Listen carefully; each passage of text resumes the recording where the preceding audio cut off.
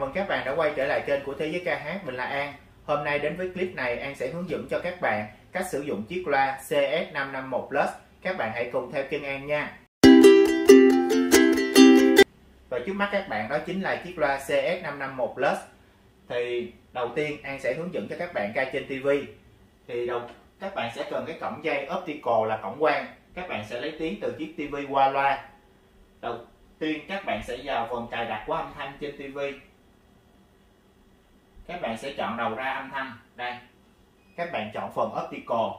Thứ hai, các bạn trên loa các bạn nhấn nút mod để chuyển qua chế độ optical. Thì khi đó, tương thích với nhau. Tiếng của TV mới xuất được ra loa ha. Và các bạn sẽ chọn những cái bài hát nếu các bạn muốn nghe nhạc hoặc là xem phim. Và An sẽ hát karaoke thì An sẽ chỉnh bài cánh hồng vai nha. Theo những ngày dài, cuộc tình đi qua trong em màn bao tin vui trái tim vỡ tan. Nhặt lại xanh cây rụt rơi. Nan vẫn xa xa cho chính đời mình. Vì người yêu em đã nói, một nhà tuyệt vời nhất thế gian là em.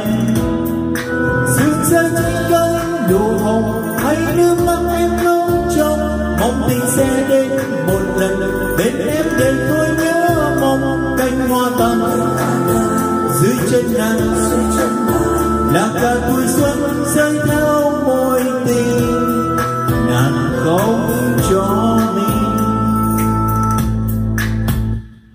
Rồi vừa rồi là các bạn đã xem An hướng dẫn hát trên TV và cách đầu tiên rất là đơn giản là hát trên điện thoại thì khi các bạn mở loa lên thì đèn báo hiệu Bluetooth màu xanh trên loa sẽ sáng.